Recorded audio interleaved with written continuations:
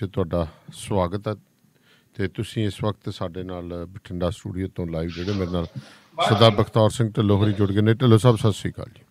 ਸਤਿ ਸ੍ਰੀ ਅਕਾਲ ਢਿੱਲੋਂ ਸਾਹਿਬ ਸਭ ਤੋਂ ਪਹਿਲਾਂ ਗੱਲ ਕਰੀਏ ਕਹਿੰਦੇ ਅਕਾਲ ਤਖਤ ਸਾਹਿਬ ਨੇ ਵੀ ਜਿਹੜੀ ਹੈ ਬੇਅਦਬੀ ਮਾਮਲੇ ਦੇ ਉੱਤੇ ਸਿੱਟ ਦੇ ਬਰਾਬਰ ਜਿਹੜੀ ਇੱਕ ਕੀ ਕਹਿੰਦੇ ਆ ਇਨਵੈਸਟੀਗੇਸ਼ਨ ਸ਼ੁਰੂ ਕਰ ਦਿੱਤੀ ਹੈ ਪੜਤਾਲ ਸ਼ੁਰੂ ਕਰ ਦਿੱਤੀ ਬਿਲਕੁਲ ਜੀ ਦਾਨੇੜੀਆ ਸਾਹਿਬ ਅਸਲ ਦੇ ਵਿੱਚ ਸ਼੍ਰੀ ਅਕਾਲ ਤਖਤ ਸਾਹਿਬ ਦੇ ਐਕਟਿੰਗ ਜਥੇਦਾਰ। ਜੀ। ਭਾਈ ਹਰਪ੍ਰੀਤ ਸਿੰਘ ਹੋਰਾਂ ਨੇ ਜੀ। ਇੱਕ ਮੀਟਿੰਗ ਕਾਲ ਕੀਤੀ ਸੀ। ਜੀ। ਵੱਖ-ਵੱਖ ਬੁੱਧੀਜੀਵੀਆਂ ਦੀ ਹੂੰ ਹੂੰ। ਔਰ ਧਾਰਮਿਕ ਆਗੂਆਂ ਦੀ ਵਿੱਚ ਕੁਝ ਬਾਈ ਜੀ ਥੋੜੀ ਜਿਹੀ ਆਵਾਜ਼ ਗੈਸਟਾਂ ਦੀ ਜ਼ਿਆਦਾ ਕੋਈ ਨਾਲ ਤੁਹਾਡੇ ਨੇ ਬਹੁਤ ਜ਼ਿਆਦਾ ਆਵਾਜ਼ ਆ ਰਹੀ ਹੈ ਜੀ ਵਿੱਚ ਥੋੜੀ ਜੀ ਆਹ। ਤੇ ਵਿੱਚ ਕੁਝ ਜਿਹੜੇ ਹੈਗੇ ਪੁਲਿਸ ਅਫਸਰ ਜਿਹੜੇ ਇਸ ਜਾਂਚ ਨਾਲ ਜੁੜੇ ਹੋਏ ਸੀ। ਜੀ। ਉਹਦੇ ਵਿੱਚ ਉਹਨਾਂ ਨੇ ਚਿੰਤਾ ਪ੍ਰਗਟ ਕੀਤੀ ਹੈ ਕਿ ਪਿਛਲੇ ਸਮੇਂ ਦੇ ਦੌਰਾਨ ਜੀ। ਜਿਹੜੀ ਬੇਅਦਬੀ ਦੀਆਂ ਘਟਨਾਵਾਂ ਹੋਈਆਂ ਹੂੰ ਹੂੰ। ਉਹਨਾਂ ਦੇ ਦੋਸ਼ੀਆਂ ਨੂੰ ਸਜ਼ਾਵਾਂ ਨਹੀਂ ਮਿਲੀਆਂ ਜੀ। ਤੇ ਸਜ਼ਾਵਾਂ ਮਿਲਣੀਆਂ ਚਾਹੀਦੀਆਂ। ਜੀ। ਇਹ ਜਥੇਦਾਰ ਸਾਹਿਬ ਨੇ ਕਿਹਾ ਹੂੰ ਹੂੰ। ਇੱਕ ਸੀਨੀਅਰ ਜਿਹੜੇ ਹੈਗੇ ਪੁਲਿਸ ਅਫਸਰ ਜੀ। ਹੁਣ ਰਿਟਾਇਰ ਹੋ ਚੁੱਕੇ ਹੈ ਹੂੰ। ਜਿਨ੍ਹਾਂ ਦਾ ਨਾਮ ਰਣਵੀਰ ਸਿੰਘ ਖੱਟੜਾ। ਹਾਂਜੀ ਹਾਂਜੀ। ਉਹਨਾਂ ਨੂੰ ਵੀ ਬੁਲਾਇਆ ਸੀ। ਜੀ। ਔਰ ਉਹਨਾਂ ਨੇ ਪੂਰੀ ਤਫਸੀਲ ਦੇ ਨਾਲ ਜਿਹੜੀ ਆਪਣੀ ਜਿਹੜੀ ਹੈਗੀ ਹੈ ਰਿਪੋਰਟ ਪੇਸ਼ ਕੀਤੀ ਕਿ ਕੀ ਹੋਇਆ ਤੇ ਕਿਵੇਂ ਹੋਇਆ ਤੇ ਕੀ ਕੁਝ ਹੋਇਆ। ਜੀ। ਇਹ ਉਹਨਾਂ ਨੇ ਸਾਰਾ ਕੁਝ ਕਰ ਦਿੱਤਾ। ਹੂੰ ਹੂੰ। ਹੁਣ ਸਵਾਲ ਇਹਦੇ 'ਚ ਇਹ ਪੈਦਾ ਹੁੰਦਾ ਜਿਹੜਾ ਵੱਡਾ ਸਵਾਲ ਹੈ। ਜੀ। ਕਿ ਅਕਾਲ ਤਖਤ ਸਾਹਿਬ ਦੇ ਐਕਟਿੰਗ ਜਥੇਦਾਰ ਸਾਹਿਬ ਨੇ ਜਿਹੜੀ ਇਹ ਮੀਟਿੰਗ ਬੁਲਾਈ ਹੈ ਹੂੰ ਹੂੰ ਹੂੰ। ਇਸ ਮੀਟਿੰਗ ਨੂੰ ਬੁਲਾਉਣ ਦਾ ਮਕਸਦ ਕੀ ਹੈ? ਜੀ। ਸਮਾਂ ਕੀ ਹੈ? ਹੂੰ ਹੂੰ। ਸਮਾਂ ਜਿਹੜਾ ਹੈਗਾ ਹੁਣ ਇਸ ਵੇਲੇ ਤੁਹਾਨੂੰ ਪਤਾ ਹੈ ਕਿ ਇਲੈਕਸ਼ਨ ਦਾ ਦੌਰ ਹੈ। ਜੀ। 4-6 ਮਹੀਨਿਆਂ ਬਾਅਦ ਚੋਣ ਜਾਬਤਾ ਲਾਗੂ ਹੋ ਜਾਣਾ। ਹੈ। ਹੂੰ। ਔਰ ਉਹ ਤੋਂ ਬਾਅਦ ਮਾਰਚ ਮਹੀਨੇ ਦੇ ਵਿੱਚ ਅਸੈਂਬਲੀ ਹੈ ਜਿਹੜੀ ਉਹਦੀ ਚੋਣ ਹੋ ਜਾਣੀ ਹੈ ਮੁਕੰਮਲ ਹੋ ਜਾਣੀ ਹੈ। ਜੀ। ਇਹਨਾਂ ਹਾਲਤਾਂ ਦੇ ਵਿੱਚ ਜਿਹੜੀ ਹੈਗੀ ਇਹ ਮੀਟਿੰਗ ਬੁਲਾਉਣੀ ਹੂੰ ਹੂੰ। ਇਸ ਮੀਟਿੰਗ ਦਾ ਮਕਸਦ ਕੀ ਕਿਸੇ ਸਿਆਸੀ ਧਿਰ ਲਈ ਜ਼ਮੀਨ ਤਿਆਰ ਕਰਨਾ ਹੈ? ਹੂੰ ਹੂੰ। ਇਹ ਇੱਕ ਵੱਡਾ ਸਵਾਲ ਹੈ। ਜੀ। ਵੱਡਾ ਸਵਾਲ ਇਸ ਕਰਕੇ ਹੈ ਕਿ ਕਿੰਨਾ ਲੰਬਾ ਸਮਾਂ ਬੇਅਦਬੀ ਹੋਈ ਦੀਆਂ ਘਟਨਾਵਾਂ ਨੂੰ ਹੋਇਆ। ਹੂੰ ਹੂੰ। 2015 ਦੇ ਵਿੱਚ ਸਮਝ ਲਓ ਤੁਸੀਂ 12 ਅਕਤੂਬਰ ਤੋਂ ਗੁਰੂ ਗ੍ਰੰਥ ਸਾਹਿਬ ਦੀ ਆ ਜਿਹੜੀ ਆਪਣੀ ਅੰਗ ਹੈ। ਹੂੰ ਹੂੰ। ਉਹ ਜਦੋਂ ਬਰਗਾੜੀ ਦੀਆਂ ਗਲੀਆਂ 'ਚ ਖਿਲਰੇ ਮਿਲੇ ਸੀ। ਜੀ। ਉਦੋਂ ਤੋਂ ਇਹ ਮਾਮਲਾ ਸ਼ੁਰੂ ਹੋਇਆ ਸੀ। ਹੂੰ ਹੂੰ। ਉਦੋਂ ਕਿਸੇ ਵੀ ਧਾਰਮਿਕ ਆਗੂ ਨੇ ਇਸ ਤਰ੍ਹਾਂ ਦਾ ਜਿਹੜਾ ਨੋਟਿਸ ਲੈਣਾ ਚਾਹੀਦਾ ਸੀ ਉਹ ਨਹੀਂ ਲਿਆ। ਹੂੰ ਹੂੰ। ਕਿਉਂਕਿ ਜਿਹੜੇ ਆਪਾਂ ਕਹਿ ਸਕਦੇ ਹਾਂ ਕਿ ਅਕਾਲ ਤਖਤ ਸਾਹਿਬ ਸਿੱਖਾਂ ਦੀ ਸਭ ਤੋਂ ਸੁਪਰੀਮ ਜਿਹੜੀ ਹੈਗੀ ਹੈ ਸੀਟ ਹੈ। ਜੀ। ਔਰ ਦੂਜੇ ਜਿਹੜੇ ਸਾਡੇ ਜਥੇਦਾਰ ਸਹਿਬਾਨ ਹੈ ਸਿੰਘ ਸਹਿਬਾਨ ਹੈ ਉਹ ਉਹਨਾਂ ਦੇ ਨਾਲ ਹੁੰਦੇ ਹੈ। ਉਹਨਾਂ ਦੇ ਚਲਦਿਆਂ ਇਸ ਗੱਲ ਦਾ ਉਹਨਾਂ ਨੂੰ ਨੋਟਿਸ ਲੈਣਾ ਚਾਹੀਦਾ ਸੀ ਕਿ ਜੀ ਇਹ ਸਾਰਾ ਕੁਝ ਕਿਉਂ ਕਿਉਂ ਹੋਇਆ? ਪਰ। ਕਿਸੇ ਨੇ ਨੋਟਿਸ ਨਹੀਂ ਲਿਆ। ਤੇ ਜੇ ਉਹ ਤੋਂ ਪਹਿਲਾਂ ਆਪਾਂ ਦੇਖੀਏ ਤੇ ਕਿ ਅਕਾਲ ਤਖਤ ਸਾਹਿਬ ਦੀ ਭੂਮਿਕਾ ਨੂੰ ਜੇ ਆਪਾਂ ਦੇਖੀਏ ਜੀ। ਤਾਂ ਉਹ ਭੂਮਿਕਾ ਦੇਖਣੀ ਪੈਣੀ ਹੈ ਆਪਾਂ ਨੂੰ ਅਹ, ਜਿਸ ਵੇਲੇ ਡੇਰਾ ਮੁਖੀ ਡੇਰਾ ਮੁਖੀ ਨੂੰ ਮਾਫੀ ਕੀਤੀ। ਮਾਫ ਕੀਤਾ ਗਿਆ ਸੀ। ਹੂੰ ਹੂੰ। ਡੇਰਾ ਮੁਖੀ ਨੂੰ ਮੁਖੀ ਨੂੰ ਕਿਹਦੇ ਕਹਿਣ ਤੇ ਮਾਫ ਕੀਤਾ ਗਿਆ? ਇਹ ਵੀ ਇੱਕ ਵੇਖਣ ਵਾਲੀ ਗੱਲ ਪਤਾ ਹੀ ਆਪਾਂ ਨੂੰ। ਵੇਖ- ਇਹ ਵੇਖਣ ਵਾਲੀ ਗੱਲ ਹੈ।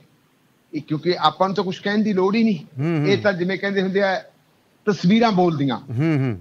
ਤਸਵੀਰਾਂ ਤਾਂ ਆਮ ਹੁੰਦੀਆਂ ਕਿ ਤਸਵੀਰਾਂ ਬੋਲਦੀਆਂ। ਜੀ ਜੀ। ਅੱਜ ਦੇ ਜ਼ਮਾਨੇ ਦੇ ਵਿੱਚ ਜਿਹੜੀਆਂ ਤਸਵੀਰਾਂ ਬੋਲਦੀਆਂ ਉਹ ਡਿਜੀਟਲ ਮੀਡੀਆ ਮੀਡੀਆ ਤੇ ਮੀਡੀਆ ਬੋਲਦੀਆਂ। ਬੋਲਦੀਆਂ ਜੀ। ਹਾਂ ਡਿਜੀਟਲ ਮੀਡੀਆ ਦੇ ਉੱਤੇ ਜੇ ਆਪਾਂ ਦੇਖੀਏ ਤਾਂ ਕਿਸ ਢੰਗ ਦੇ ਨਾਲ ਹੂੰ ਹੂੰ। ਭਾਈ ਗੁਰਮੁਖ ਸਿੰਘ ਹੁਣੀ ਜੀ। ਜਿਹੜੇ ਉਦੋਂ ਐਕਟਿੰਗ ਜਥੇਦਾਰ ਸੀ। ਹੂੰ ਹੂੰ।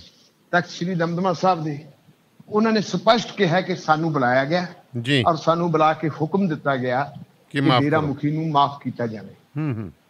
ਔਰ ਉੱਥੇ ਉਹਨਾਂ ਨੇ ਕਿਹਾ ਕਿ ਸਾਨੂੰ ਚਿੱਠੀ ਦਿਖਾਈ ਗਈ ਸੀ ਕਿ ਡੇਰਾ ਮੁਖੀ ਨੇ ਚਿੱਠੀ ਭੇਜੀ ਹੈ। ਜੀ। ਉਹ ਚਿੱਠੀ ਹਿੰਦੀ ਵਿੱਚ ਲਿਖੀ ਸੀ। ਹੂੰ ਹੂੰ। ਲੇਕਿਨ ਜਦੋਂ ਅਕਾਲ ਤਖਤ ਸਾਹਿਬ ਤੇ ਸਿੰਘ ਸਹਿਬਾਨ ਦੀ ਮੀਟਿੰਗ ਹੋਈ ਹੂੰ ਹੂੰ। ਤੇ ਤੁਸੀਂ ਦੇਖੋ ਕਿ ਚਿੱਠੀ ਦੀ ਲਿਖਾਈ ਬਦਲ ਗਈ।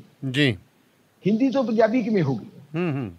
ਇਹ ਪੰਜਾਬੀ ਵਾਲੀ ਚਿੱਠੀ ਕਿਵੇਂ ਹੈ? ਇਸ ਗੱਲ ਤੇ ਵੀ ਸਵਾਲ ਖੜੇ ਹੁੰਦੇ। ਹੂੰ। ਹੂੰ ਫਿਰ ਇਸ ਗੱਲ ਦੇ ਉੱਤੇ ਵੀ ਸਵਾਲ ਖੜੇ ਹੁੰਦੇ ਆ ਕਿ ਜਦੋਂ ਡੇਰਾ ਮੁਖੀ ਨੂੰ ਜਿਹੜੀ ਮਾਫੀ ਦਿੱਤੀ ਸੀ ਤੇ ਉਹਨੂੰ ਸਿੱਖ ਪੰਥ ਨੇ ਪ੍ਰਵਾਨ ਨਹੀਂ ਕੀਤਾ। ਜੀ। ਉਹਦਾ ਵਿਰੋਧ ਕੀਤਾ ਤੇ ਉਸ ਵਿਰੋਧ ਤੋਂ ਬਾਅਦ ਫਿਰ ਇਸ ਵਿਰੋਧ ਨੂੰ ਠੱਲਿਆ ਜਾਵੇ। ਲੋਕ ਜਿਹੜੇ ਅਕਾਲ ਤਖਤ ਸਾਹਿਬ ਦੇ ਜਥੇਦਾਰ ਸਾਹਿਬਾਨ ਦੇ ਨਾਲ ਉਹਨਾਂ ਦੇ ਹੋਰ ਸਿੰਘ ਸਾਹਿਬਾਨ ਉਹਨਾਂ ਦੀ ਗੱਲ ਮੰਨਣ। ਜੀ। ਇਹਦੇ ਲਈ 91 ਲੱਖ ਰੁਪਏ ਦੇ ਇਸ਼ਤਿਹਾਰ ਗੁਰੂ ਕੀ ਗੋਲਕ ਚੋਂ ਦਿੱਤੇ ਗਏ। ਹੂੰ ਹੂੰ। ਉਦੋਂ ਬਾਅਦ ਵੀ ਜਦੋਂ ਇਸ ਜਿਹੜੀ ਜਿਹੜੀ ਜੀ ਇਹ- ਇਸ ਦਵਾਈ ਨੇ ਵੀ ਕੰਮ ਨਾ ਕੀਤਾ ਜੀ। ਤਾਂ ਫਿਰ ਅਲਟੀਮੇਟਲੀ ਜਾ ਕੇ ਉਹਦੀ ਜਿਹੜੀ ਆ ਮਾਫੀ ਵਾਪਸ ਲਈ ਗਈ ਸੀ। ਹੂੰ ਹੂੰ। ਸੋ ਅਕਾਲ ਤਖਤ ਸਾਹਿਬ ਸੁਪਰੀਮ ਹੈ। ਜੀ ਜੀ। ਅਕਾਲ ਤਖਤ ਸਾਹਿਬ ਜਿਹੜਾ ਹੈਗਾ ਸਰਵਉੱਚ ਹੈ। ਹੂੰ ਹੂੰ। ਤੇ ਇਹਦੇ ਵਿੱਚ ਵੀ ਸਿੱਖਾਂ ਦੇ ਲਈ ਇਹਦੇ ਵਿੱਚ ਵੀ ਕੋਈ ਸ਼ੱਕ ਨਹੀਂ ਕਿ ਅਕਾਲ ਤਖਤ ਸਾਹਿਬ ਦੇ ਉੱਤੇ ਬੰਦੇ ਭਾਵੇਂ ਬਦਲ ਜਾਣ। ਜੀ। ਲੇਕਿਨ ਅਕਾਲ ਤਖਤ ਸਾਹਿਬ ਦੀ ਮਹਾਨਤਾ ਤਾਂ ਨਹੀਂ ਬਦਲਦੀ। ਨਹੀਂ ਬਦਲ ਸਕਦੀ। ਉਸ ਵੇਲੇ ਵੀ ਸਿੰਘ ਸਾਹਿਬਾਨ ਸੀ ਅੱਜ ਵੀ ਸਿੰਘ ਸਿੰਘ ਸਾਹਿਬ ਸਾਹਿਬਾਨ ਬੈਠੇ। ਬਿਲਕੁਲ। ਉਦੋਂ ਐਕਟਿੰਗ ਜਥੇਦਾਰ ਭਾਈ ਗੁਰਮੁਖ ਸਿੰਘ ਸੀ ਜਿਨ੍ਹਾਂ ਨੇ ਸਾਰਾ ਪਰਦਾ ਪਟਤਾ ਸੀ। ਹੂੰ ਹੂੰ। ਤੇ ਅੱਜ ਐਕਟਿੰਗ ਜਥੇਦਾਰ ਜਿਹੜੇ ਹੈਗੇ ਆ ਉਹ ਭਾਈ ਹਰਪ੍ਰੀਤ ਸਿੰਘ ਹੈ। ਜੀ। ਜਿਨ੍ਹਾਂ ਨੇ ਇਹ ਮਾਮਲਾ ਜਿਹੜਾ ਹੈਗਾ ਦੁਬਾਰਾ ਫਿਰ ਸ਼ੁਰੂ ਇੱਕ ਪੈਰਲਲ ਜਿਹੜੀ ਹੈ ਖੋ ਹੈ ਪੈਰਲਲ ਇਨਵੈਸਟੀਗੇਸ਼ਨ ਸ਼ੁਰੂ ਕਰਤੀ। ਔਰ ਇਹਦੇ ਨਾਲ ਮੈਂ ਅਗਲੀ ਗੱਲ ਹੋਰ ਮੈਂ ਸ਼ਾਇਦ ਤੁਹਾਡੇ ਕੋਲ ਇਨਫੋਰਮੇਸ਼ਨ ਆ ਗਈ ਹੋਵੇ ਹੁਣ ਤੱਕ। ਹੂੰ ਹੂੰ। ਕਿ ਜਿਹੜੇ ਡੇਰਾ ਪ੍ਰੇਮੀ ਗ੍ਰਿਫਤਾਰ ਕੀਤੇ ਸੀ ਹਾਂਜੀ ਹਾਂਜੀ।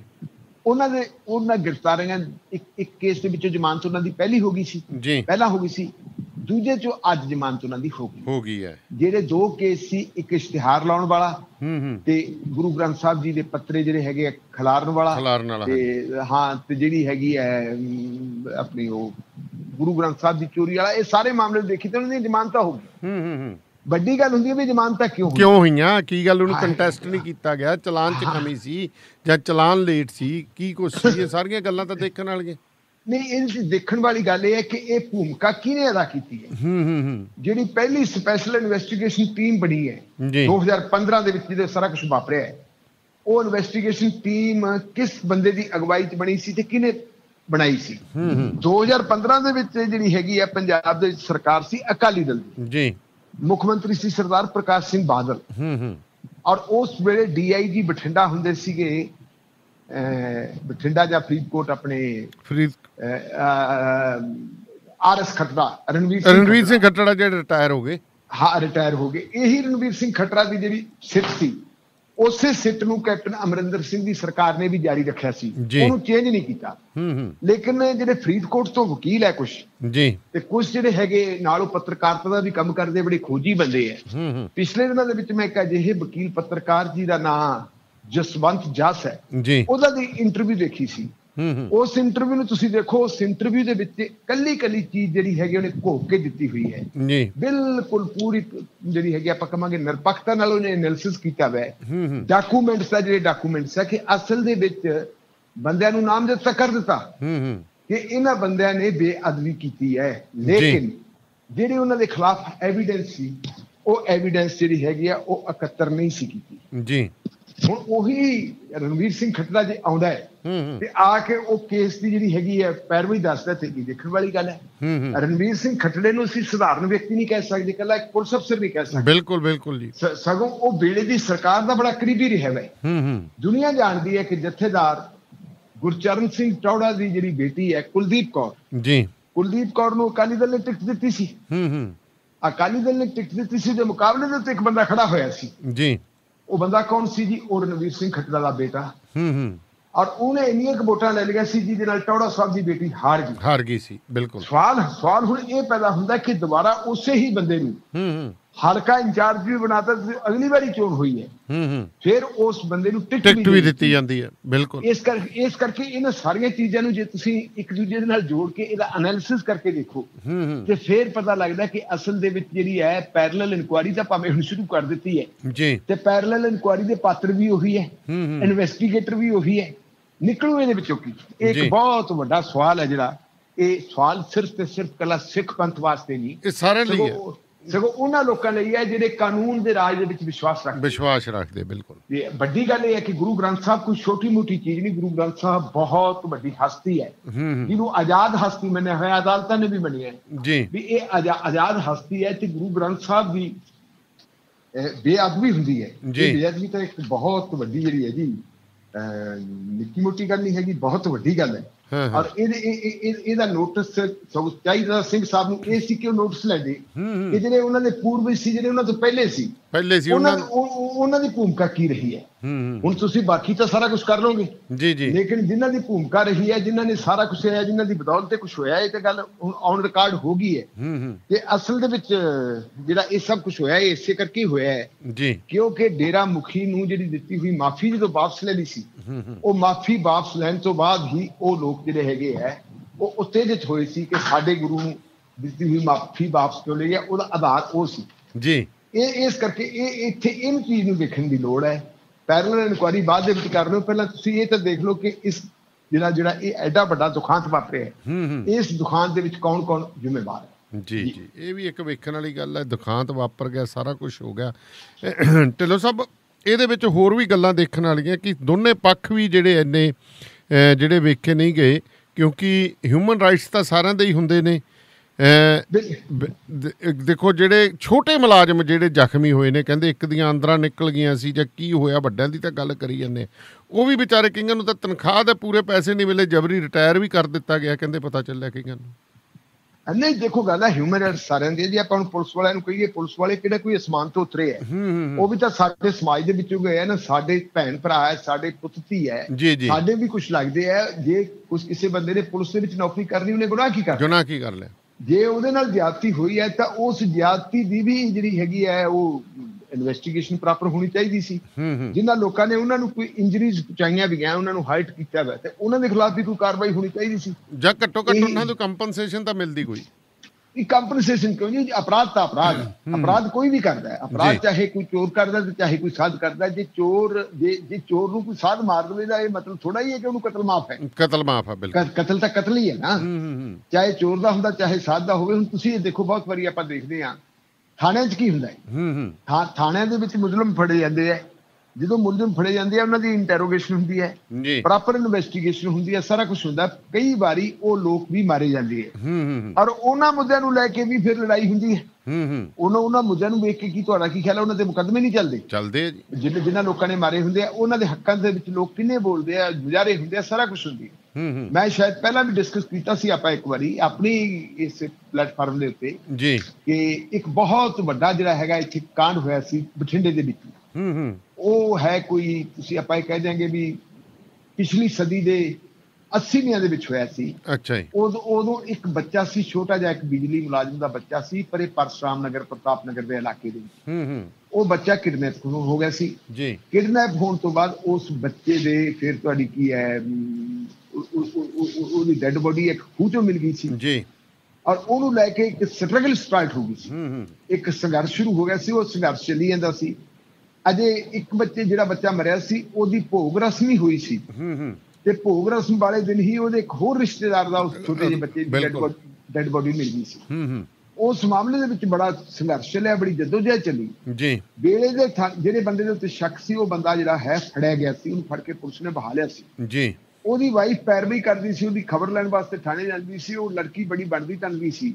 ਜੀ। ਔਰ ਉਹ ਗੜਵਾਲਨ ਸੀਗੀ ਗੜਵਾਲ ਦੀ ਰਹਿਣ ਵਾਲੀ ਸੀ। ਹੂੰ ਹੂੰ। ਜਿਹੜਾ ਥਾਣੇਦਾਰ ਸੀ ਵੇਲੇ ਦਾ ਉਹਦਾ ਨਾਮ ਸੀ ਭਗਤ ਰਾਮ। ਭਗਤ ਰਾਮ। ਤੇ ਭਗਤ ਰਾਮ ਦੀ ਜਿਹੜੀ ਹੈ ਨਜ਼ਰ ਫਿੱਟ ਗਈ। ਭਗਤ ਰਾਮ ਨੇ ਉਸ ਲੜਕੀ ਦੀ ਮਜਬੂਰੀ ਦਾ ਫਾਇਦਾ ਉਠਾ ਕੇ ਉਹਦੀ ਇੱਜ਼ਤ ਨਾਲ ਖਿਲਵਾੜ ਕੀਤਾ ਸੀ। ਜੀ। ਇਹ ਗੱਲ ਸਾਡੇ ਧਿਆਨ ਵਿੱਚ ਆ ਗਈ ਸੀ ਜਿਹੜੇ ਅਸੀਂ ਉਸ ਵੇਲੇ ਵਿਦਿਆਰਥੀ ਮੈਂ ਹਾਲਾਂਕਿ ਮੇਰਾ ਵਿਦਿਆਰਥੀ ਜੀਵਨ ਮੈਂ ਕੰਮ ਕਰਦਾ ਸੀ ਜੀਵਨ ਸੀ। ਪਰ ਕਿਉਂਕਿ ਬੇਇਨਸਾਫੀ ਤਾਂ ਬੇਇਨਸਾਫੀ ਅਸੀਂ ਕੁਝ ਹੋਰ ਇਨਸਾਫ ਪਸੰਦ ਲੋਕਾਂ ਨੂੰ ਨਾਲ ਲੈ ਕੇ ਇੱਕ ਸੰਘਰਸ਼ ਸ਼ੁਰੂ ਕੀਤਾ ਸੀ। ਹੂੰ ਹੂੰ। ਉਸ ਸੰਘਰਸ਼ ਦੇ ਵਿੱਚ ਜਿਹੜੀ ਦੋ ਬੱਚਿਆਂ ਦੀ ਮੌਤ ਹੋਈ ਸੀ ਉਹ ਪਿਸ਼ਾਬ ਚਲੀ ਗਈ ਸੀ। ਜੀ। ਨੰਬਰ ਉੱਤੇ ਇੱਕ ਦੇ ਉੱਤੇ ਆ ਗਈ ਸੀ ਕਿ ਇੱਕ ਵਰਦੀਧਾਰੀ ਬੰਦੇ ਨੇ ਉਸ ਲੜਕੀ ਨੂੰ ਆਪਣੀ ਹਫਸ ਦਾ ਸ਼ਿਕਾਰ ਕਿਉਂ ਬਣਾਇਆ? ਜੀ। ਉਸ ਬੰਦੇ ਨੂੰ ਸਜ਼ਾ ਮਿਲਣੀ ਚਾਹੀਦੀ ਤੇ ਦਾਨੇ ਵਾਲੀਆ ਸਾਹਿਬ ਨੂੰ ਸਜ਼ਾ ਮਿਲੀ ਸੀ। ਉਹਨੂੰ ਲਾਈਫ ਇੰਪ੍ਰਿਜ਼ਨਮੈਂਟ 20 ਸਾਲ ਦੀ ਕੈਦ ਹੋਈ ਓਕੇ। ਔਰ ਬਾਅਦ ਦੇ ਵਿੱਚ ਉਸ ਬੰਦੇ ਨੂੰ ਭਜਾ ਦਿੱਤਾ ਸੀ। ਸੋ ਜੇ ਕੋਈ ਕਾਨੂੰਨ ਦਾ ਰਖਵਾਲਾ ਕਿਸੇ ਚੋਰ ਚੱਕੇ ਨੂੰ ਕਿਸੇ ਦੋਸ਼ੀ ਨੂੰ ਵੀ ਮਾਰਦਾ ਤਾਂ ਸਜ਼ਾ ਤਾਂ ਉਹਨੂੰ ਵੀ ਮਿਲਣੀ ਉਹਨੇ ਮਿਲਣੀ ਚਾਹੀਦੀ ਹੈ ਬਿਲਕੁਲ। ਇਸ ਕਰਕੇ ਚੋਰ ਤੇ ਸਾਧ ਕਾਨੂੰਨ ਦੇ ਸਾਹਮਣੇ ਇੱਕੋ ਹੀ ਹੁੰਦੇ ਆ। ਇਹ ਤੁਸੀਂ ਦੇਖਿਆ ਹੋਣਾ ਆਮ ਤੌਰ ਤੇ ਆਪਾਂ ਜਦੋਂ ਦੇਖਦੇ ਆ ਜੀ। ਕਿ ਜਿਹੜੀ ਕੋਈ ਵੀ ਅਦਾਲਤ ਹੈ ਉਸ ਅਦਾਲਤ ਦੇ ਵਿੱਚ ਇੱਕ ਤਸਵੀਰ ਲੱਗੀ ਹੁੰਦੀ ਹੈ। ਹੂੰ ਹੂੰ। ਜਾਂ ਕਈ ਵਾਰੀ ਤੱਕੜੀ ਲੱਗੀ ਹੁੰਦੀ ਹੈ। ਇੱਕ ਔਰਤ ਦੇ ਹੱਥ ਦੇ ਵਿੱਚ ਜਿਹੜੀ ਹੈ ਉਹ ਤਰਾਜੂ ਫੜਿਆ ਹੁੰਦਾ ਹੈ। ਜੀ। ਪਰ ਉਹਦੀਆਂ ਅੱਖਾਂ ਦੇ ਉੱਤੇ ਕਾਲੀ ਪੱਟੀ ਬਣੀ ਹੁੰਦੀ ਹੈ। ਕਾਲੀ ਪੱਟੀ ਬੰਨਣ ਦਾ ਮਤਲਬ ਹੈ ਕਿ ਉਹਦੇ ਸਾਹਮਣੇ ਇਹ ਨਹੀਂ ਕੋਈ ਕਿ ਕਿੰਨਾ ਵੱਡੇ ਰੁਤਬੇ ਵਾਲਾ ਬੰਦਾ ਹੈ। ਜਾਂ ਕਿੰਨੇ ਛੋਟੇ ਰੁਤਬੇ ਵਾਲਾ ਬੰਦਾ ਉਹਦਾ ਮਤਲਬ ਇਹ ਹੈ ਕਿ ਕਾਨੂੰਨ ਦੀਆਂ ਨਜ਼ਰਾਂ ਸਾਰੇ ਲੋਕ ਇੱਕੋ ਹੀ ਹੈ। ਇੱਕੋ ਹੀ ਹੈ। ਚਾਹੇ ਕੋਈ ਰਾਜਾ ਹੈ ਤੇ ਚਾਹੇ ਕੋਈ ਰੰਕ ਹੈ ਸਜ਼ਾ ਹਰ ਇੱਕ ਨੂੰ ਮਿਲਣੀ ਚਾਹੀਦੀ ਹੈ ਜਿਹੜਾ ਕਾਨੂੰਨ ਦੀ ਉਲੰਘਣਾ ਕਰਦਾ ਜੀ ਜੀ। ਤੇ ਹੁਣ ਗੱਲ ਕਰੀਏ ਜੀ ਥੋੜਾ ਜਿਹਾ ਚੱਲੀਏ ਆਪਾਂ ਕਿਸਾਨੀ ਅੰਦੋਲਨ ਵੱਲ ਵੀ।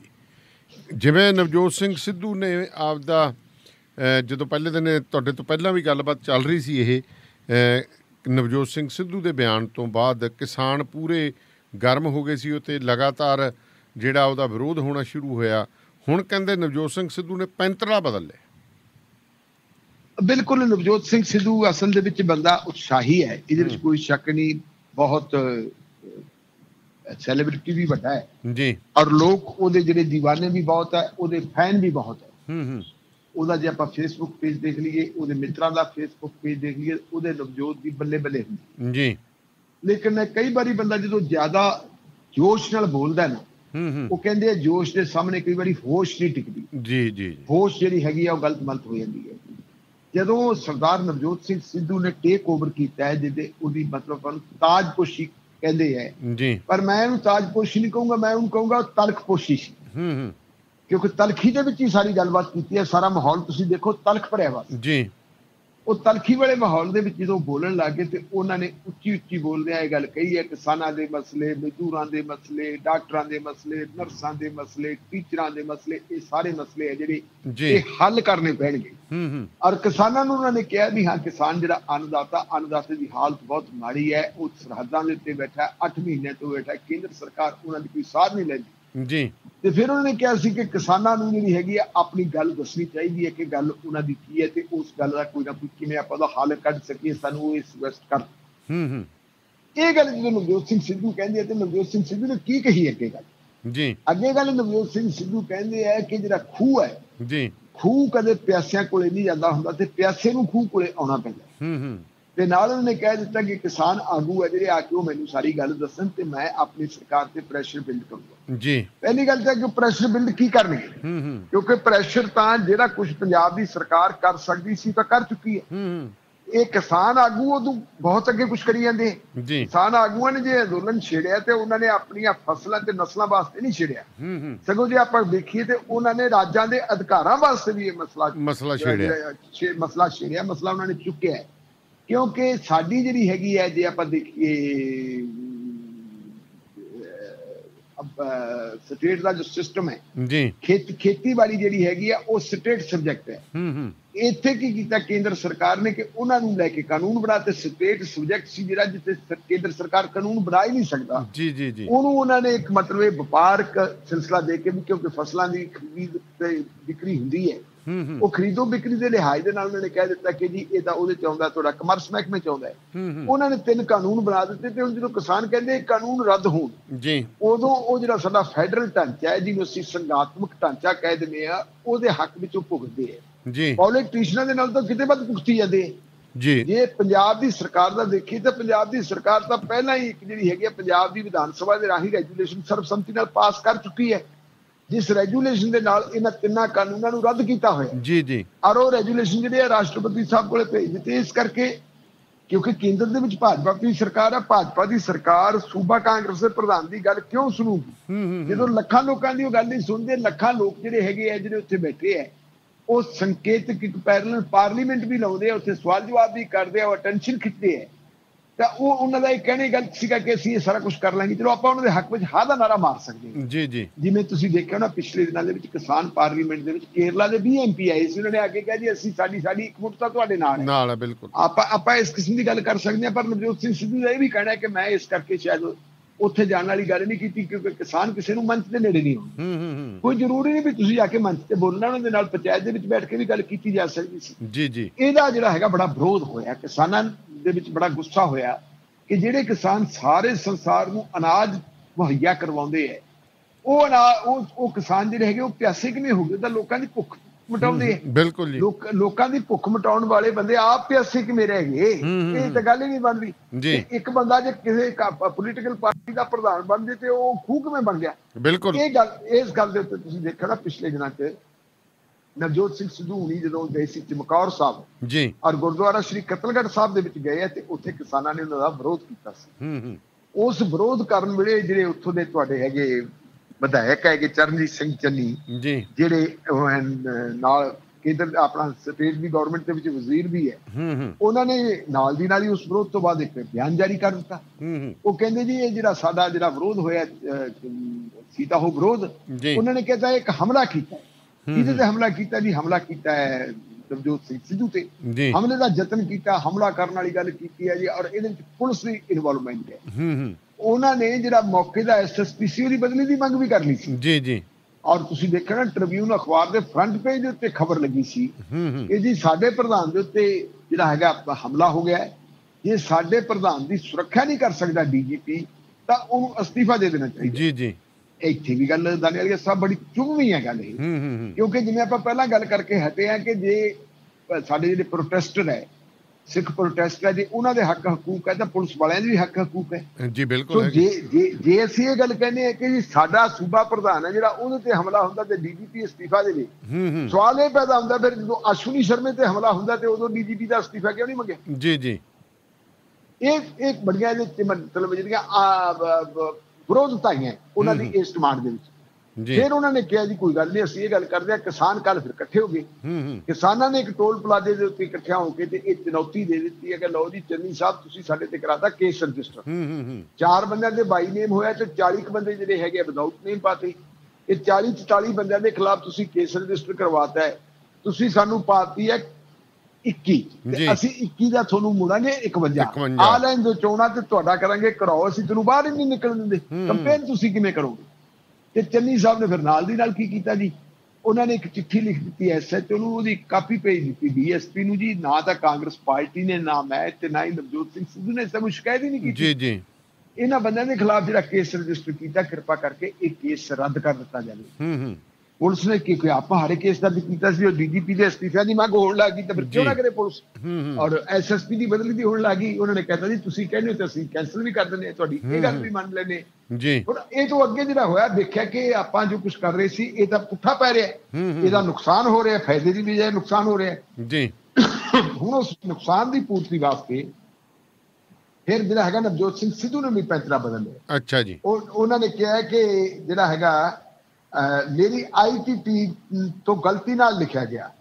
ਅਸਲ ਦੇ ਵਿੱਚ ਖੂਹ ਹੈ ਜਿਹੜਾ ਉਹ ਕਿਸਾਨ ਹੈ। ਜੀ ਜੀ। ਤੇ ਪਿਆਸਾ ਤਾਂ ਸਿੱਧੂ ਹੈ। ਇਹ ਗਲਤ ਲਿਖਿਆ ਗਿਆ ਜਿਹੜੀਆਂ ਉਹਨਾਂ ਨੇ ਪਹਿਲਾਂ ਉਹਦੇ ਚ ਆਪਣੇ ਟਵੀਟ ਵੀ ਕੀਤਾ ਸੀਗਾ ਤੇ ਉਹ ਟਵੀਟ ਦਾ ਜਿਹੜੀ ਉਹਨਾਂ ਦੀ ਟਵੀਟ ਸੀ ਉਹਦੇ ਵਿੱਚ ਉਹ ਸ਼ਬਦ ਕੱਢ ਦਿੱਤੇ ਹੈ। ਜੀ।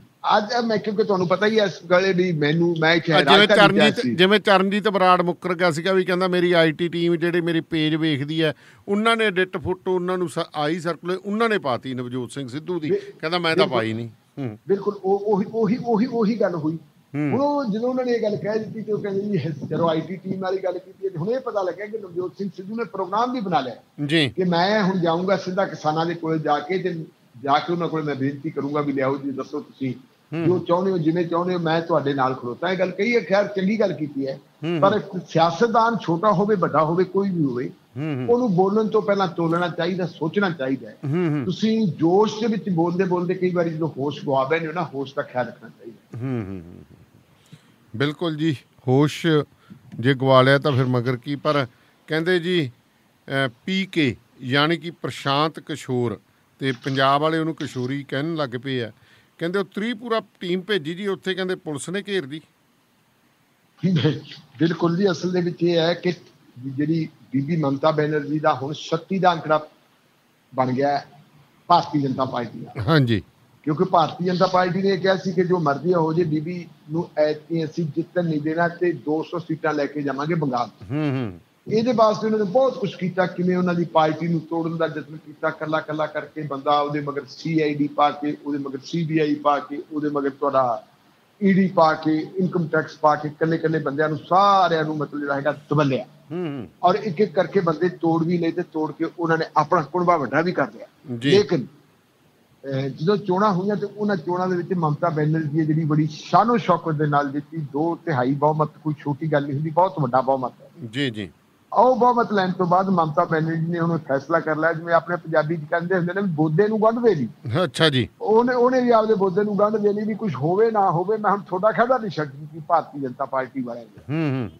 ਬੰਗਾਲ ਦੇ ਵਿੱਚ ਆਪਾਂ ਨੂੰ ਪਤਾ ਬੀਜੇਪੀ ਦੇ ਹਾਰਨ ਦਾ ਇੱਕ ਵੱਡਾ ਕਾਰਨ ਇਹ ਵੀ ਸੀ ਕਿਉਂਕਿ ਕਿਸਾਨ ਭਾਈਚਾਰੇ ਨੇ ਵੀ ਬੀਜੇਪੀ ਦੀ ਡਟ ਕੇ ਮੁਖਾਲਫਤ ਕੀਤੀ ਸੀ ਉਹਨਾਂ ਨੇ ਕਿਹਾ ਸੀ ਵੋਟਾਂ ਜਿਹਨੂੰ ਮਰਜ਼ੀ ਆ ਪਾ ਦਿਓ ਬੀਜੇਪੀ ਨੂੰ ਨਾ ਪਾਓ। ਹੂੰ ਹੂੰ। ਤੇ ਫਿਰ ਲੋਕਾਂ ਨੇ ਆਪ ਹੀ ਅੰਦਾਜ਼ਾ ਲਾਇਆ ਸੀ ਵੀ ਜੇ ਬੀਜੇਪੀ ਨੂੰ ਹਰਾਉਣਾ ਤੇ ਜਿਹੜੀ ਪਾਰਟੀ ਹਰਾਉਂਦੀ ਆ ਵੋਟਾਂ ਉਹਨਾਂ ਨੂੰ ਪਾ ਦੇ ਉਹਨਾਂ ਨੇ ਤ੍ਰਿਣਮੂਲ ਕਾਂਗਰਸ ਨੂੰ ਪਾਤੀਆਂ ਸੀ। ਜੀ। ਤੇ ਬੀਬੀ ਮਮਤਾ ਬੈਨਰਜੀ ਨੇ ਹੁਣ ਜੀ ਫਿਰ ਤ੍ਰਿਪੁਰਾ ਵੱਲ ਮੂੰਹ ਕਰ ਲਿਆ। ਹੂੰ ਹੂੰ। ਤ੍ਰਿਪੁਰਾ ਬੰਗਾਲ ਦੇ ਨਾਲ ਲੱਗਦਾ ਹੈ ਜੀ। ਔਰ ਤ੍ਰਿਪੁਰਾ ਦੇ ਵਿੱਚ ਤੁਹਾਨੂੰ ਪਤਾ ਵੀ ਲੰਬਾ ਸਮਾਂ ਉੱਥੇ ਕਮਿਊਨਿਸਟਾਂ ਦੀ ਹਕੂਮਤ ਰਹੀ ਹੈ ਜਿਵੇਂ ਬੰਗਾਲ ਦੇ ਵਿੱਚ ਰਹੀ ਸੀ। ਹਾਂਜੀ। ਫਿਰ ਇਹਨਾਂ ਨੇ ਜਿਹੜੇ ਹੈਗੇ ਕੁਝ ਸਮਝੌਤੇ ਇਸ ਕਿਸਮ ਦੇ ਕੀਤੇ ਬੀਜੇਪੀ ਵਾਲਿਆਂ ਨੇ ਜਿਨ੍ਹਾਂ ਨੂੰ ਇਹ ਕਹਿੰਦੇ ਹੁੰਦੇ ਸੀ ਇਹ ਦੇਸ਼ ਵਿਰੋਧੀ ਤਾਕਤ ਹੈ। ਜੀ। ਉਹਨਾਂ ਦੇ ਨਾਲ ਸਮਝੌਤਾ ਵਗੈਰਾ ਕੀਤਾ ਕੁਝ ਕਮਿਊਨਿਸਟਾਂ ਦੀਆਂ ਆਪਦੀਆਂ ਗਲਤੀਆਂ ਵੀ ਸੀ ਨਤੀਜਾ ਇਹ ਹੋਇਆ ਕਿ ਉੱਥੇ ਬੀਜੇਪੀ ਦੀ ਸਰਕਾਰ ਬਣ ਗਈ। ਹੂੰ ਹੂੰ। ਔਰ ਉਹ ਸਰਕਾਰ ਨੂੰ ਬਣਾਉਣ ਦੇ ਵਿੱਚ ਜਿਹੜੇ ਤ੍ਰਿਣਮੂਲ ਕਾਂਗਰਸ ਦੇ ਕੁਝ ਲੀਡਰ ਸੀ ਉਹਨਾਂ ਦਾ ਵੀ ਯੋਗਦਾਨ ਸੀ ਜਿਹੜੇ ਬਾਅਦ ਬੀਜੇਪੀ ਚਲੇ ਗਏ ਸੀ। ਜੀ। ਉਹਨਾਂ ਨੇ ਵੀ ਉੱਥੇ ਕੰਮ ਕਰਨਾ ਸ਼ੁਰੂ ਕਰ ਦਿੱਤਾ ਤੇ ਅੱਗੇ ਉੱਥੇ ਚੋਣਾਂ ਆ ਰਹੀਆਂ।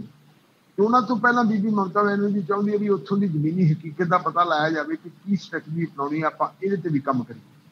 ਪ੍ਰਸ਼ਾਂਤ ਕਿਸ਼ੋਰ ਜੀ ਨੇ ਬੀਬੀ ਮਮਤਾ ਬੈਨਰਜੀ ਵਾਸਤੇ ਬੰਗਾਲ 'ਚ ਕੰਮ ਕੀਤਾ ਹੈ। ਜੀ। ਡਿਊਟੀ ਉਹਨੂੰ ਬਖਸ਼ਤੀ ਤੇ ਉਸ ਪ੍ਰਸ਼ਾਂਤ ਕਿਸ਼ੋਰ ਨੇ ਆਪਣੀ ਟੀਮ ਭੇਜੀ 22 ਬੰਦਿਆਂ ਦੀ ਟੀਮ ਪਹੁੰਚ ਗਈ ਜੀ ਉਹ 22 ਬੰਦਿਆਂ ਦੀ ਟੀਮ ਨੇ ਜਾ ਕੇ ਇੱਕ ਹੋਟਲ ਦੇ ਵਿੱਚ ਆਪਣਾ ਟਿਕਾਣਾ ਲੈ ਲਿਆ। ਜੀ। ਤੇ ਜਦੋਂ ਉੱਥੋਂ ਦੀ ਸਰਕਾਰ ਨੂੰ ਪਤਾ ਲੱਗਾ ਬੀਜੇਪੀ ਦੀ ਸਰਕਾਰ ਨੂੰ ਬੰਦੇ ਤਾਂ ਬਾਹਰੋਂ ਆ ਗਏ ਤੇ ਫਿਰ ਉਹਨਾਂ ਦੀ ਘੇਰਾਬੰਦੀ ਕਰ ਲਈ ਜੀ ਕਹਿੰਦੇ ਉਹਨੂੰ ਹੋਟਲ 'ਚ ਹੀ ਰੋਕ ਕੇ ਰੱਖਿਆ ਗਿਆ। ਜੀ। ਇਹਦਾ ਜਦੋਂ ਰੌਲਾ ਪੈ ਗਿਆ ਬੀਬੀ ਮਮਤਾ ਬੈਨਰਜੀ ਨੇ ਵੀ ਤੇ ਪ੍ਰੋਟੈਸਟ ਕੀਤਾ ਹੋਰ ਜਿਹੜੀਆਂ ਲੋਕ ਲੋਕਤੰਤਰਕ ਤਾਕਤਾਂ ਉਹਨਾਂ ਨੇ ਪ੍ਰੋਟੈਸਟ ਕੀਤਾ ਵੀ ਤੁਸੀਂ ਕੀ ਕਰੀ ਜਾਂਦੇ ਇੱਕ ਦੇਸ਼ ਦੇ ਵਿੱਚ ਇੱਕੋ ਸਾਡਾ ਦੇਸ਼ ਹੈਗਾ ਇਸ ਦੇਸ਼ ਦੇ ਵਿੱਚ ਇੱਕ ਦੇਸ਼ ਦੇ ਲੋਕ ਦੂਜੇ ਦਾ ਥਾਂ ਤੇ ਜਾ ਕੇ ਕੰਮ ਨਹੀਂ ਕਰ ਸਕਦੇ। ਇਹਦੇ ਨਾਲ ਤਾਂ ਜਿਹੜੇ ਲੋਕ ਬੰਗਾਲ ਦੇ ਵਿੱਚ ਕੰਮ ਕਰਨ ਜਾਂਦੇ ਆ ਤੇ ਫਿਰ ਉਹਨਾਂ ਦੀਆਂ ਹਾਲਤਾਂ ਵੀ ਬੜੀਆਂ ਮਾੜੀਆਂ ਹੋ ਜਾਣਗੀਆਂ। ਜੀ। ਹੁਣ ਉਹ ਬੀਜੇਪੀ ਦੀ ਸਰਕਾਰ ਨੇ ਉੱਥੇ ਦਲੀਲ ਇਹ ਦਿੱਤੀ ਹੈ ਕਿ ਅਸਲ ਦੇ ਵਿੱਚ ਰੌਲਾ ਇਹ ਹੈ ਕਿ ਇਹ ਲੋਕ ਜਿਹੜੇ ਹੈਗੇ ਕੋਵਿਡ 19 ਦਾ ਜਿਹੜਾ ਪ੍ਰੋਟੋਕੋਲ ਆ ਉਹਦੀ ਇਹਨਾਂ ਨੇ ਪਾਲਣਾ ਨਹੀਂ ਕੀਤੀ। ਜੀ। ਇਹਨਾਂ ਦੇ ਕਹਿੰਦੇ ਸਾਰਿਆਂ ਦੇ ਪਹਿਲਾਂ ਦਾ ਸੈਂਪਲ ਲੈਣੇ ਹੈ ਹੂੰ। ਫਿਰ ਇਹ ਦੇਖਣਾ ਕਿ ਇਹ ਜਾਣਗੇ ਇਹਨਾਂ ਨੇ ਮਨਜ਼ੂਰੀ ਕਿਉਂ ਨਹੀਂ ਲਈ? ਇਹਨਾਂ ਨੇ ਪ੍ਰਵਾਨਗੀ ਕਿਉਂ ਨਹੀਂ ਲਈ? ਕਹੀ ਬਹਾਨੇ ਜੋ ਮਰਜ਼ੀ ਕਰੀ ਜਾਣ। ਪਰ ਹਕੀਕਤ ਇਹ ਹੈ ਕਿ ਬੀਜੇਪੀ ਦੀ ਜਿਹੜੀ ਹੈਗੀ ਆ ਅੰਦਰਲੀ ਜਿਹੜੀ ਤਾਕਤ ਆ ਉਹ ਤਾਕਤ ਜਿਹੜੀ ਹੈਗੀ ਆ ਡਾਮਾਡੋਲ ਹੋ ਗਈ। ਜੀ। ਉਹ ਜਿਵੇਂ ਆਦੇ ਹੁੰਦੇ ਨਾ ਜਦੋਂ ਬੰਦੇ ਦਾ ਜਦੋਂ ਬੰਦਾ ਕਿੰਨਾ ਹੀ ਤਾਕਤਵਰ ਹੋਵੇ ਜਦੋਂ ਉਹਦਾ ਹੌਸਲਾ ਟੁੱਟ ਜੇ ਉਹਦਾ ਹੌਸਲਾ ਟੁੱਟਣ ਤੋਂ ਬਾਅਦ ਫਿਰ ਉਹ ਮੁਕਾਬਲੇ 'ਚ ਖੜ ਨਹੀਂ ਸਕਦਾ ਉਹਨੇ ਡਿੱਗਣਾ ਡਿੱਗਣਾ ਹੁੰਦਾ। ਜੀ। ਕਈ ਵਾਰੀ ਕਹਿੰਦੇ ਨੇ ਵੀ ਛੋਟਾ ਜਿਹਾ ਬੱਚਾ ਸੀ ਤੇ ਛੋਟੇ ਜਿਹੇ ਬੱਚੇ ਨੇ ਵੀ ਇੱਕ ਮਤਲਬ ਖਾਂਦੇ ਪੀਂਦੇ ਬੰਦੇ ਨੂੰ ਪੂਰੀ ਤਰ੍ਹਾਂ ਢੇਰ ਕਰਤਾ। ਉਹ ਢੇਰ ਕਰਨ ਦਾ ਮਤਲਬ ਇਹ ਹੁੰਦਾ ਕਿ ਉਹਦੇ 'ਚ ਲੜਨ ਦੀ ਇੱਛਾ ਨਹੀਂ ਰਹਿੰਦੀ। ਹੁਣ ਬੀਜੇਪੀ ਨੂੰ ਇਹ ਪਤਾ ਲੱਗ ਗਿਆ ਕਿ ਅਸੀਂ ਜਾ ਰਹੇ ਹਾਂ ਔਰ ਇੱਥੇ ਵੀ ਮਮਤਾ ਬੈਨਰਜੀ ਆਪਣਾ ਜਲਵਾ ਦਿਖਾਊਗੀ। ਜੀ। ਸੋ ਇਹਦੇ ਚੱਲਦਿਆਂ ਜੀ ਮਤਲਬ ਉਹਨਾਂ ਨੇ ਰੁਕਿਆ ਹੋਇਆ ਅਜੇ ਤੱਕ ਵੀ ਰੋਕੇ ਹੋਏ ਹੈ। ਦੇਖਦੇ ਹਾਂ ਹੁਣ ਸ਼ਾਇਦ ਇਹ ਮਾਮਲਾ ਕੋਰਟ 'ਚ ਵੀ ਚੱਲ ਜਾਵੇ ਇਹ ਚਾਹੀਦਾ ਵੀ ਹੈ ਜੀ ਬਿਲਕੁਲ ਸਹੀ ਗੱਲ ਹੈ ਐਵੇਂ ਥੋੜਾ ਵੀ ਤੁਸੀਂ ਇਹ ਭਾਰਤ ਦੇਸ਼ ਆਜ਼ਾਦ ਹੈ ਤੁਹਾ- ਅਹ ਇਹ ਤਾਂ ਭਾਰਤ ਦੇਸ਼ ਆਜ਼ਾਦ ਹੈ ਜੀ ਐਂ ਕਿਵੇਂ ਤੁਸੀਂ ਕਿਸੇ ਨੂੰ ਰੋਕ ਬਿਲਕੁਲ ਲਓਗੇ? ਹੈ ਜੀ? ਤੇ।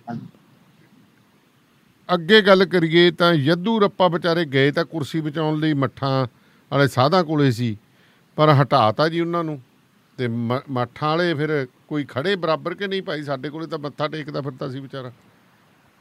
ਦੇਖੋ ਤਾਂ ਨਵੇਂ ਸਾਹਿਬ ਜਿਹੜਾ ਮਿਸਟਰ ਜੇਦੂਰੱਪਾ ਹੈ ਹੂੰ ਹੂੰ।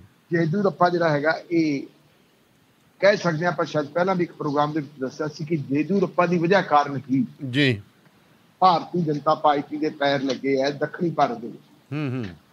ਔਰ ਜੇਦੂਰੱਪਾ ਨੇ 2008 ਦੇ ਵਿੱਚ ਪਹਿਲੀ ਵਾਰੀ ਉਹਨਾਂ ਨੇ ਮਤਲਬ ਆਪਣੀ ਉਹਨਾਂ ਨੂੰ ਸੱਤਾ ਮਿਲੀ ਸੀ ਉਹਨਾਂ ਨੇ ਆਪਣੀ ਸਰਕਾਰ ਬਣਾਈ ਸੀ। ਹੂੰ ਹੂੰ। ਉਹ ਤੋਂ ਪਹਿਲਾਂ ਵੀ ਉਹ ਕਹਿੰਦੇ ਵੀ ਮੈਨੂੰ ਵਾਜਪਾਈ ਸਾਹਿਬ ਨੇ ਕਿਹਾ ਸੀ ਕਿ ਲਿਆ ਭਾਈ ਤੈਨੂੰ ਅਸੀਂ ਕੇਂਦਰ ਚ ਵਜ਼ੀਰ ਬਣਾ ਲੈਣੇ ਤੇ ਕਹਿੰਦਾ ਮੈਂ ਕਿਹਾ ਸੀ ਜੀ ਨਹੀਂ ਮੈਂ ਤਾਂ ਇੱਥੇ ਦੀ ਸੇਵਾ ਕਰਨੀ ਤੇ ਮੈਂ। ਇੱਥੇ ਰਹੂੰਗਾ।